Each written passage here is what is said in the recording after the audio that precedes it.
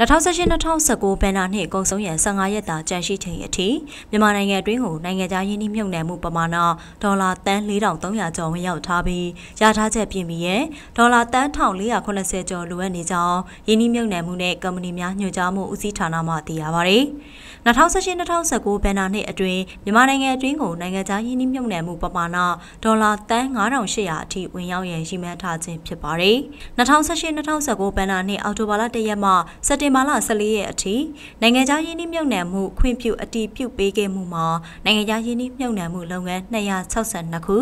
ရင်းနှီးမြှုပ်နှံမှုပမာဏဒေါ်လာ2594.544တန်းဖြစ်ပါတယ်။ရင်းနှီးမြှုပ်နှံမှုတိုးမြင့်ခြင်းအပါအဝင်ရင်းနှီးမြှုပ်နှံမှုပမာဏမှာဒေါ်လာ3959.643တန်းဖြစ်ပါတယ်။အထူးစီးပွားရေးဆောင်ဥပဒေအရ2018-2019ဘဏ္ဍာနှစ်အောက်တိုဘာလ1ရက်မှစက်တင်ဘာလ14ရက်အထိရင်းနှီးမြှုပ်နှံမှုတိုးမြင့်ခြင်းအပါအဝင်စုစုပေါင်းခွင့်ပြုပြီးရင်းနှီးမြှုပ်နှံမှုပမာဏဒေါ်လာ362.283တန်းဖြစ်ပါတယ်။2018-2019ဘဏ္ဍာနှစ်အောက်တိုဘာလ1ရက်မှစက်တင်ဘာလ14ရက်အထိ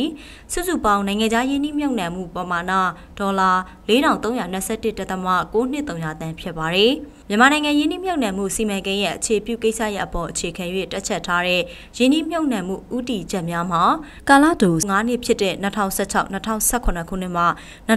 2020-2021အထိတွင်နှစ်စဉ်ဒေါ်လာ9.8ဘီလီယံ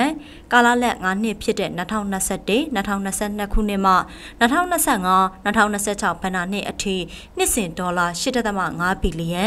2026-2028ခုနှစ်မှ2030-2031 2021ဘဏ္ဍာနှစ်အထိနှစ်စဉ်ဒေါ်လာ12.3ဘီလီယံ2031 2031ခုနှစ်မှ 2035 2036ဘဏ္ဍာနှစ်အထိနှစ်စဉ်ဒေါ်လာ18.6ဘီလီယံအထိရရှိရန်ခံမှန်းထားပါတယ်